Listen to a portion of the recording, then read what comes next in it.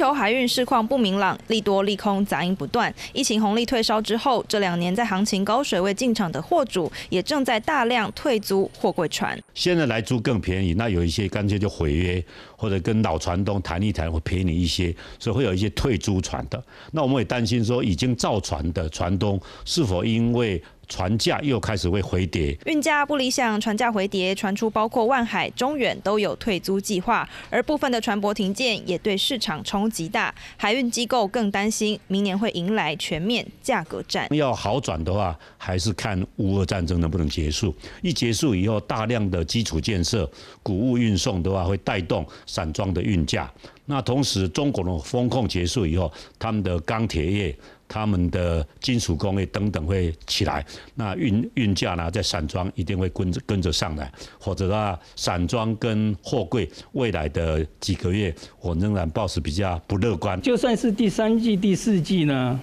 比我们原先的预期呢，就预算的预期呢来得差，不过全年哈加起来哈。